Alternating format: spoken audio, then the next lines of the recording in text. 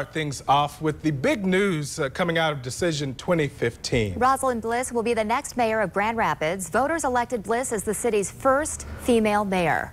The current second ward city commissioner earned 66% of that vote. And right now, we're joined in the studio by the woman who's making that history, Grand Rapids Mayor-elect Rosalynn Bliss. Congratulations uh, and good morning. Yeah, Thank congrats. You. Thank you. What a big night it was, and history in the making here. The first female mayor. How are you feeling about that?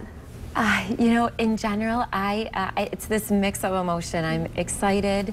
I'm grateful to everyone who went yesterday and voted, uh, but it's also incredibly humbling, and it's just a it's a really surreal feeling.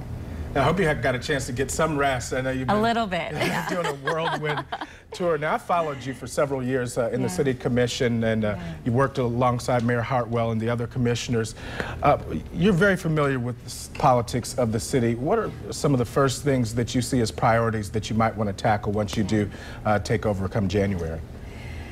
Well, you know, I think we'll have a, a, lot of things to tackle. I mean, there are citywide issues that we need to tackle. My priority uh, is going to be looking at what do we need to do to revitalize neighborhoods. I've talked about that for a long time now.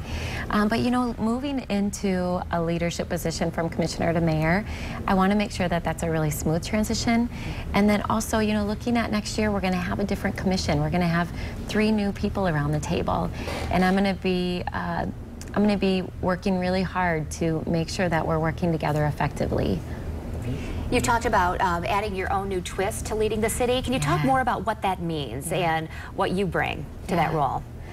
Well, you know, I, people who know me, uh, they know that I, I'm very accessible and responsive and hardworking, and I like to be involved, and I like to, I like to do work. I'm a hands-on kind of person, so um, I'll be actively engaged at the local level, being a part of solutions. Uh, the other thing I want to do is I want to want to take time getting out into the neighborhoods and meeting with people. You know, I've represented the second ward for a long time. Uh, these last three months, I've been able to knock on a lot of doors largely in the first and the third ward.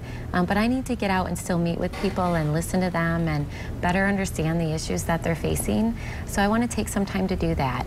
It seems like you'll have some eager people too. Just um, out and about last night with the National Night Out, there were several neighborhood groups that hosted yeah. their own National Night Out events because there are tight neighborhoods here in yeah. Grand Rapids. There are. Are you hearing that response when you're out as far as um, specific concerns from neighborhoods and what you can do for them? Yeah, I was actually out at some events too. Mm -hmm. I mm-hmm. hit three before I went to go watch the, the results come in. And you're right, we have amazing neighborhoods, rich with diversity and all unique, and they have unique needs. And, you know, that's what I've always said is that we can't have this cookie cutter approach to helping neighborhoods. It really has to be more individualized. Has it sunk in yet the history that you are making here in Grand Rapids and just what it may mean to uh, others who might want to come after you or yeah. even uh, young girls who are, are, watching and may have aspirations to enter a political arena that's often seen as a male dominated type of a venue. Yeah. Sinking in, I think it probably will take a few more days to sink in. Uh, yeah. And, and I have always said, uh, you know, to be a model for, for young girls and women, it's, it's a huge responsibility, and I take that very seriously. And, you know, I hope I can encourage and mentor other people to get involved. Uh, and that's an exciting part of, of moving into this position.